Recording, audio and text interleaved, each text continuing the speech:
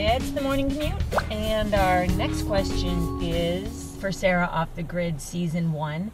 How long did the project take? Well, from first bucket in the ground to us sleeping in the house, moved in, and all the art hanging on the walls and accessories placed, it was, are you ready for it?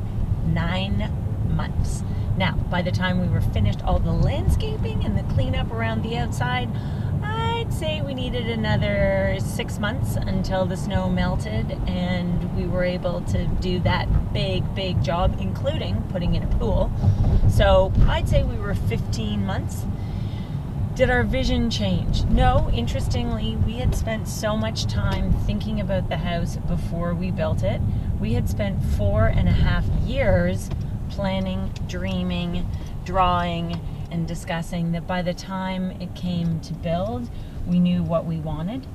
And that was pretty great because I wouldn't say that there were any big challenges or whoopsies along the way, other than changing those stairs to the Belvedere, which was definitely worth spending the time on.